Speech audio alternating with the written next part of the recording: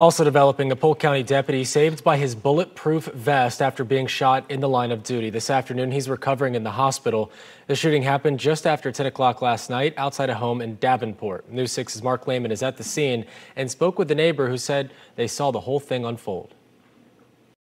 Investigators spending more than 10 hours in this neighborhood as they gathered evidence in this shooting. It happened right here in front of this home along the street and sidewalk. We spoke with the next door neighbor who watched as the situation unfolded.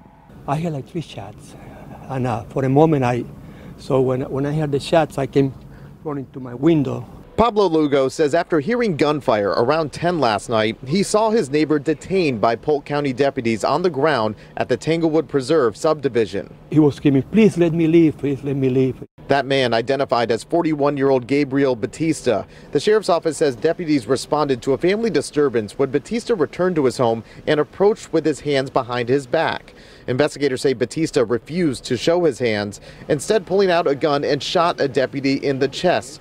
Fortunately, he was wearing a bulletproof vest. The female officer uh, started looking him all over, checking his body. The sheriff's office says the deputy shot back at Batista, who threw his gun to the ground and surrendered. He was not injured and arrested. All of this coming just over a week after Polk County deputy 21-year-old Blane Lane was shot and killed in the line of duty. The sheriff saying in this case last night, the deputy's bulletproof vest saved his life. Polk County Sheriff says the deputy is doing well after being checked out at the hospital. As for the suspect in this, he's now facing several charges. We'll keep you updated with any new information as we get it. In Davenport, Mark Lehman getting results, News 6.